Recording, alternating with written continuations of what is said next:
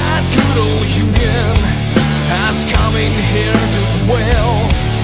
My father was a miner, and I'm a miner's son, and I'll stick with the union.